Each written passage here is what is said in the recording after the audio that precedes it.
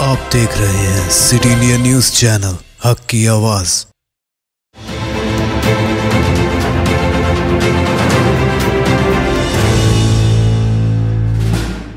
Aslam Nazran, City India News के bulletin, खबरें रफ्तार से मैं आपका इस्तकबाल है, मैं हूँ नौशी रियासती कौमी बैन अवी खबरों पर तेज़ी के साथ डालते हैं एक नज़र। पिछले 24 घंटों में तीन लाख उनासी हज़ार कोविड के नए मामले मुल्क भर में सामने आए हैं। इस बीच वजारत सेहत की इतलात के मुताबिक पिछले 24 घंटों में कोविड 19 के तीन लाख उनासी हज़ार से ज़्यादा नए मामला सामने आए इस तरह से अब तक एक करोड़ तिरासी लाख से ज़्यादा अफराद कोरोना से मुतासर हो चुके हैं, जबकि वजारत सेहत का कहना है कि पिछले 24 घंटों में तीन हज़ार छः सौ पैंतालीस अफराद की अमवातें हुई हैं। इस तरह इस वबा से मरने वालों की तादाद भी दो लाख चार हज़ार से ज़्यादा हो चुकी है।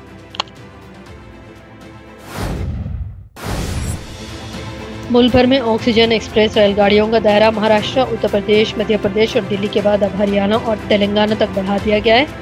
ओडिशा में ओंगोल से दो टैंकरों के साथ पहली ऑक्सीजन एक्सप्रेस हरियाणा पहुंचेगी। तेलंगाना हुकूमत ने भी भारतीय रेलवे से ऑक्सीजन एक्सप्रेस के लिए दरख्वास्त दी थी, जिसके बाद रेलवे का महकमा इन तमाम रियासतों को ऑक्सीजन पहुँचाने के लिए पूरी तरह तैयारी कर रहा है, जिन्हें इसकी ज़रूरत है।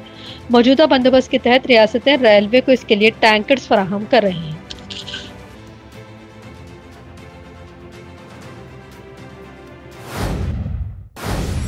मुल्क भर के अस्पतालों में ऑक्सीजन सिलेंडर की कमी के बाद कई ममालिक से ऑक्सीजन कॉन्सनट्रेटर्स और एहतियाती आलात बरामद किए जा रहे हैं। इसी बीच मरकजी शहरी हवाबाजी के वज़ीर हरदीप सिंह पुरी ने बताया कि अमेरिका से 600 ऑक्सीजन कॉन्सनट्रेटर्स दिल्ली हवाई अड्डे पर पहुँच चुके हैं। स्पाइस जेट का जहाज़ हांगकांग से 1000 ऑक्सीजन कॉन्सनट्रेटर्स लेकर दिल्ली पहुँचा। साथ ही गुजशत दिनों जर्मनी से भी ऑक्सीजन कॉन्सनट्रेटर्स की पहली खेप एयर इंडिया की परवाज से पहुँच चुकी। है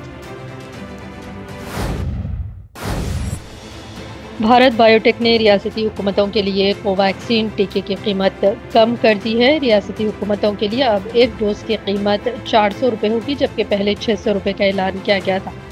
भारत बायोटेक का कहना है कि हिफान सेहत से मुतल सरकारी निज़ाम को दरपेश सख्त चैलेंजों को मद्देनजर रखते हुए ये फैसला लिया गया। प्राइवेट अस्पतालों के लिए कोवैक्सीन की एक डोज बारह सौ रुपये की होगी। बरामद की जाने वाली वैक्सीन की कीमत पंद्रह से बीस डॉलर होगी। इससे पहले रियासतों के लिए कोविशील्ड की कीमत चार सौ रुपये से कम कर कर तीन सौ रुपये कर दी गई।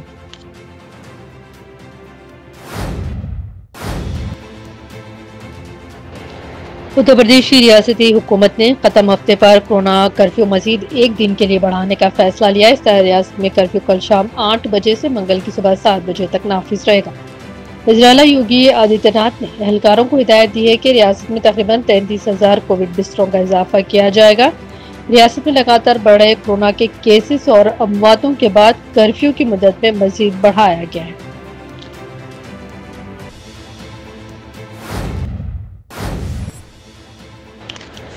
मरकजी हुकूमत ने कहा है कि कोविड उन्नीस से निमटने से मुताल हिदायत पर इकतीस मई तक पूरे मुल्क में सख्ती के साथ अमल किया जाएगा।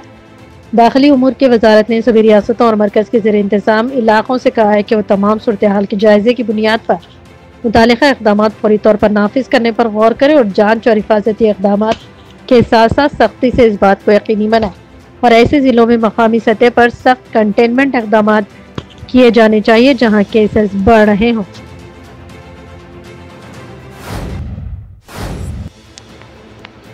जुमा को इसराइल में मजहबी आतिशबाजी के एक मेले में भगदड़ के मच जाने से चौवालीस अफराद हलाक हो गए और सौ से ज़्यादा अफराद जख्मी हुए हैं। टीवी माहरीन का कहना है कि बेंजामिन नितन्याहू ने इस भारी तबाही के तौर पर बयान दिया। माउंट मैरून खबर पर सालाना लॉक बुमर की तकरीबा के लिए जमा हुए थे। गुजशत रात मजहबी इबादत और रक्स जारी था। इसी बीच भगदड़ मर्ज गई और इसमें चौवालीस अफराद हलाक हो गए और सौ से ज़्यादा अफराद शदीद तौर पर जख्मी।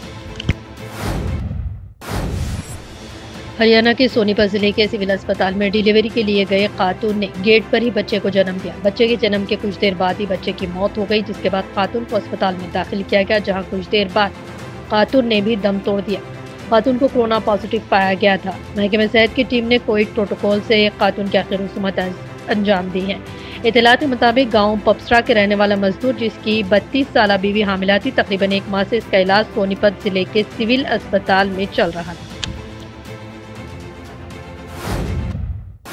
खबर रफ्तार की में फ़िलहाल इतना ही। मजीद अपडेट्स के लिए आप देखते रहिए सिटी इंडिया न्यूज़। हक़ की आवाज़ तेनोशिन को इजाज़त। अल्लाह हाफिज़।